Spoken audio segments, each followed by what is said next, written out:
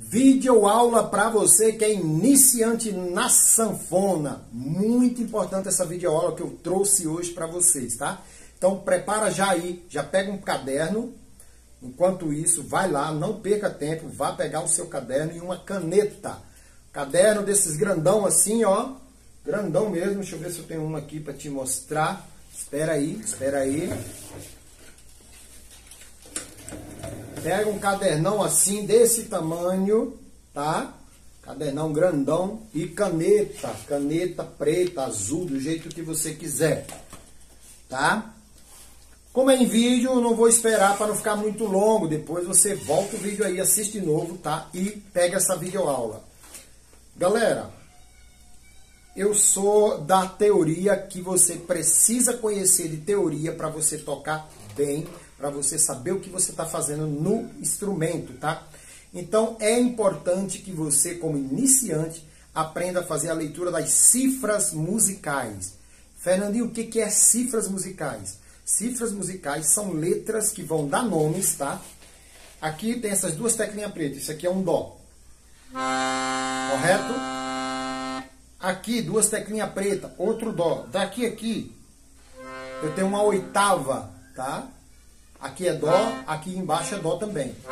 E aí aqui eu tenho uma oitava. Dentro dessa oitava eu tenho o quê? Sete, sete notas, né? Porque Dó e Dó e os intervalos aqui. Então eu tenho Dó, Ré, Mi, Fá, Sol, Lá, Si e Dó, né? Ok, isso é a escala de Dó maior e é uma sequência de notas que você precisa conhecer. Só que para você estudar, para você entender tudo que eu vou falando aqui nessas dicas, outros professores na internet, professor particular, aonde você for, só tem duas formas de você aprender teoria musical: por cifras ou por partitura. Eu vou ensinar aqui a, por cifras, que eu entendo que é uma linguagem mais popular para a galera, tá? Então, já pegou caneta e papel na mão, você vai escrever. Tá vendo onde está essa setinha aqui? Tem uma setinha aqui, ó só. Tá vendo essa setinha? E de cima para baixo tem C, D, E, F, G, A, B. Nessa primeira carreirinha aqui, ó. Tá vendo? Então, começando aqui, ó. C, D, E, F, G, A, B. Você vai escrever desse jeitinho. Na frente aqui de cada uma, você vai escrever agora que nota que é essa, na frente, tá? Aqui tem outras cifras, mas você escreve só isso daqui. Escreveu? Na frente da letra C, você vai escrever Dó. Aqui na frente aqui, escreve Dó. Na frente do D, você vai escrever Ré. Na frente do E, vai escrever Mi.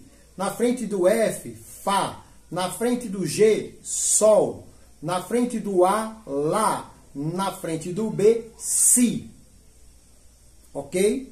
Escreveu, então você vai ter nessa sequência Dó, peraí, você vai ter Dó, Ré, Mi, Fá, Sol, Lá. Então você tem essas oito notas aqui, tá pessoal? No caso até o Si tá ali, né? Só que depois do Si vem o Dó de novo, tá? Então você vai aqui, ó. Dó, Ré, Mi, Fá, Sol, Lá, Si. E pode colocar lá embaixo o C de novo, que repete, que é o Dó. Tá ok? E aí você vai decorar essas letras, tá? Aonde você vê essas letras, em qualquer estudo, você vai bater o olho e vai falar, olha, é nota Dó. A, o D é nota Ré. O B é nota Si. O E é nota Mi. O F é nota Fá o G, Sol, o A, Lá. Então, antes de mais nada, decore essas cifras, tá? Pega aí essa semana, vai decorando essas cifras, que nas próximas aulas a gente vai estar falando sobre elas aqui, tá? Então, você pegue, anote no caderninho, aprenda essas cifras e se quiser, já pode mentalizar aqui no seu instrumento, tá? Ó, pega duas teclas preta, a primeira que vem aqui do lado de cima é o Dó. Então aqui na sequência, só as branquinhas até chegar aqui, é essa sequência aí que eu passei para vocês. Olha. Dó, Ré, Mi, Fá, Sol, Lá, Si, Dó. O dedo de lado. Um, dois, três. Passo o dedo por baixo aqui no Fá. Um, dois, três, quatro, cinco. Volto. Cinco, quatro, três, dois, um. Passo o dedo três por cima. Três, dois, um.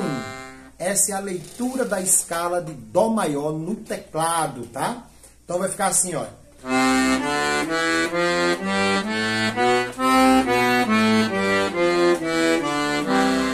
De novo.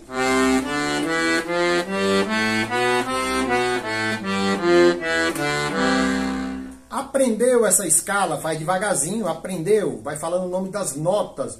Dó, Ré, Mi, Fá, Sol, Lá, Si, Dó, Si, Lá, Sol, Fá, Mi, Ré, Do.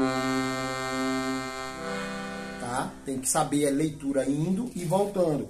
Aprendeu lentinho, já sabe a leitura? Mete o dedo e pratica bastante para ficar molinho assim, ó.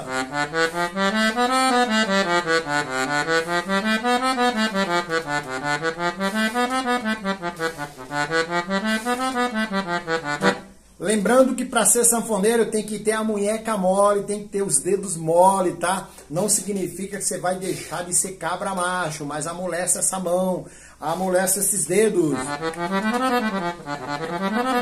Pega gingado nessa mão, tá bom? Essa foi a dica de hoje, eu acho que muito importante. Não deixe de compartilhar esse vídeo com seus coleguinhas está começando. Vamos fazer uma corrente do bem aqui, vamos compartilhar com todos aqueles que precisam. Então, Compartilha esse vídeo, esse conteúdo com outro colega aí. Manda para o WhatsApp, manda para onde você quiser, tá bom? Deixe seu comentário aí se te ajudou. Fala para mim de qual cidade você está aprendendo a tocar com o Fernandinho aqui, tá bom?